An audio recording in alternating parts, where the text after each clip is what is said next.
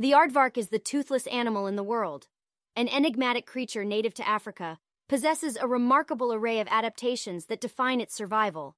With its elongated snout, superbly suited for digging, and strong claws, the aardvark is a master excavator, creating burrows for shelter and uncovering its favorite meal, ants and termites. Its nocturnal lifestyle and keen sense of smell enable it to navigate the dark in search of its prey. Despite its toothless appearance, the aardvark boasts specialized molars that aid in pulverizing its insect diet. In an intricate dance of form and function, the aardvark stands as a testament to nature's ingenuity.